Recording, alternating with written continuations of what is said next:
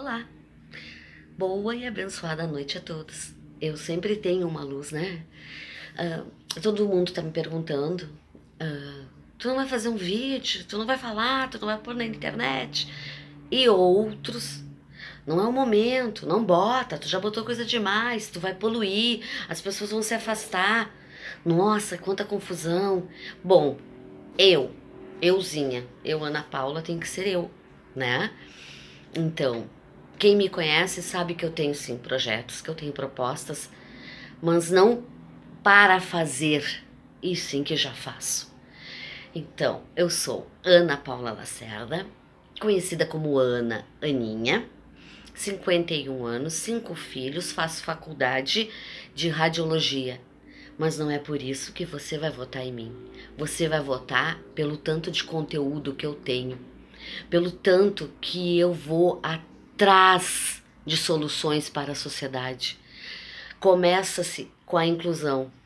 A inclusão social, ela só é produtiva, só é benéfica se você souber trabalhar nela, se você souber fazer ela corretamente. Aí você atinge a classe média e a classe alta e a classe baixa que é para isso que serve um representante, um fiscal dentro da Câmara de Vereadores, para lutar pelos seus direitos, para fiscalizar, fazer projetos que possam agregar, que possam trazer melhorias.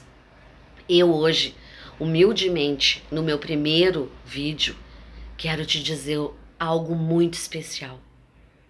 Hoje eu quero dizer para você que trabalha numa terceirizada, para você que luta para botar o pão de cada dia, para você que leva a marmita para dividir com as colegas, ou para aquelas que cada uma traz um pouco, para você que deixa seus filhos para poder ter o que comer.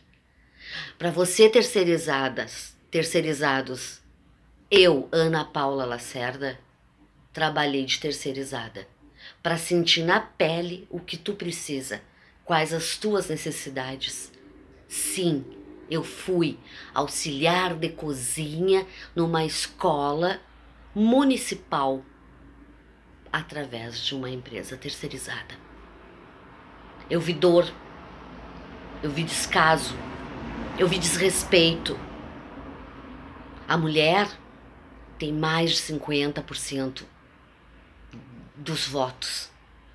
E, infelizmente, é essa que, quando ganha, bota um homem de chefe de gabinete. Te liga, aprende a crescer. Quando tu diz assim, povo, vota em mim porque eu vou fazer, já começa errado. Eu peço o teu voto, eu peço a tua atenção nas minhas redes sociais. Por quê? Porque eu fui trabalhar para sentir a dor. Hoje eu vim te dizer que eu fui trabalhar numa empresa terceirizada de auxiliar de cozinha. Aguarde que tem mais. Beijos. Eu amo vocês, assim, simples, com meu pequeno celular, na minha sacada, mas eu, euzinha. Beijos. Ana Lacerda, 77909.